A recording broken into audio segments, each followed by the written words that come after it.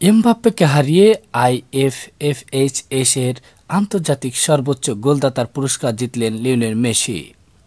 দু হাজার বাইশ সালে কাতার বিশ্বকাপে আর্জেন্টিনা ও ফ্রান্সকে ফাইনাল খেলার খেলানো দুই দেশের প্রধান দুই নায়ক ছিলেন মেসি ও এমবাপ্পে। দুই ক্লাব সতীর্থ জাতীয় দলে এসে দৌড়াতে পরিণত হন। বিশ্বকাপ ফাইনালের মতো এবারও এমবাপ্পেকে হারিয়ে দু হাজার বাইশ সালের আইএফএফএইচএস এর আন্তর্জাতিক সর্বোচ্চ গোলদাতার পুরস্কার জিতলেন মেসি।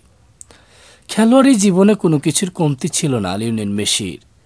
সাতবারের ব্যালন্ডিয়ার চ্যাম্পিয়ন ঝুলিতে অজস্র ক্লাব ফুটবলের স্বীকৃতি সহ আছে কোপা ও ফিনালিসেমার জয়ের কীর্তি। এত সব অর্জনের পরও একটা শূন্যতা অবশ্যই ছিল এল এম টেনের। বিধাতা দুই হাত ভরে যাকে এত কিছু দিয়েছেন, তার মনে শুধু ছিল একটা বিশ্বকাপ জিততে না পারার আক্ষেপ। তবে দু হাজার বাইশ সালে এসে ভাগ্য বিধাতা যেন আগে থেকে লিখে রেখেছিলেন সব, তাই তো বছরটি কখনো বলবেন না এল এম টেন।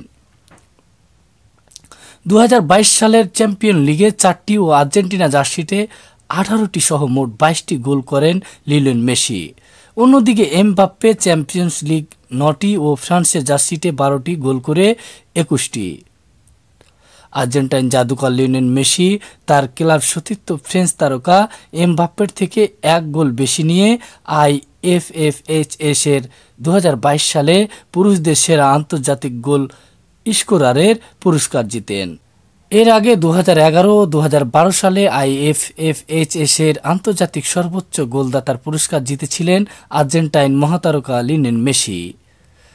আইএফএফএইচএস সর্বোচ্চ গোলদাতা পাঁচজন খেলোয়াড় লিওনেল মেসি বাইশ, কিলিয়ান এমবাপ্পে একুশ, জুলিয়ান আলভারেজ পনেরো, আলিং হাল্যান্ড চোদ্দ, সাদিও মানে চোদ্দ। মোহাম্মদ জামিল হোসেন, বরেন্দ্র নিউজ।